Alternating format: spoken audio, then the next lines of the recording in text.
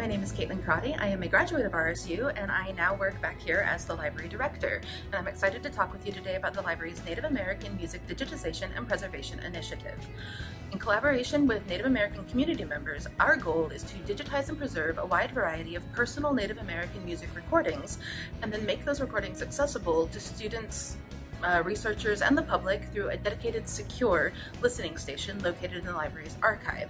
Through this archive, students will be able to foster a deeper understanding of Indigenous culture, explore a variety of musical traditions, and develop a fuller appreciation for the role music plays in both society and cultural identity. But even stepping beyond the classroom, students who are just exploring their own personal heritage will be able to come in and listen to authentic recordings from members of their own community. To achieve our goal, we need your help to establish our secure listening station and acquire the specialized equipment necessary to digitize these recordings.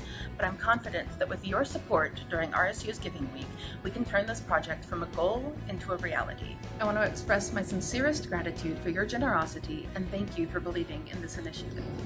Please visit rsu.edu forward slash give.